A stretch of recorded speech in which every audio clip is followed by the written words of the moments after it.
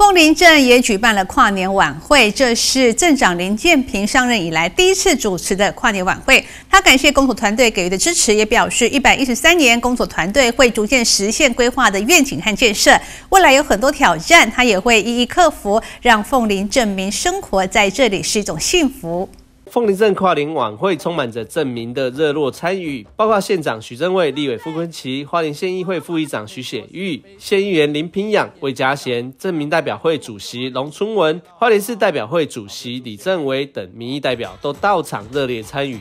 但是刚才在影片里面看到种种的拍摄，啊，想起在这一年上上这一年，啊，在这边要特别感谢。我们代表会龙主席带领的所有代表，啊，以及我的伙伴们、我的里长热情的支持。那在我公所所有的科室主管、所有的同仁，那么的认真。所以说，在上台一年，能够还有一些的小成绩，但是这份的成绩，在一个任期里面，它只是一个点。我们今天所有做的一切，都只是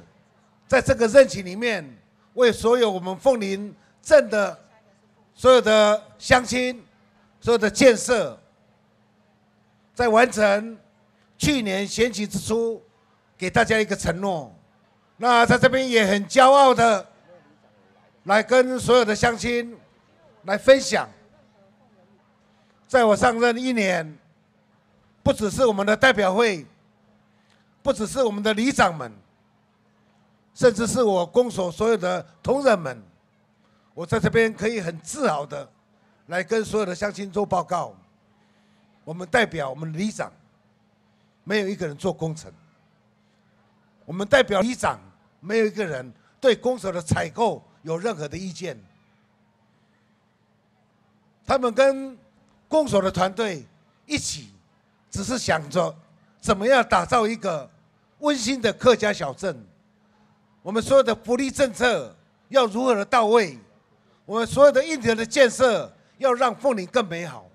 跨年活动中虽然没有明星光环的加，跨年活动中虽然没有明星光环的加持，在凤林镇各社团的表演当中，充满着凤林镇的活力与文化，蕴含着客家精神的底蕴。最后在倒数中，也期许新的一年能够为凤林镇争取更多的社会福利与基础建设，创造更美好的凤林镇，迎接二零二四的到来。记者林杰，凤林镇采访报道。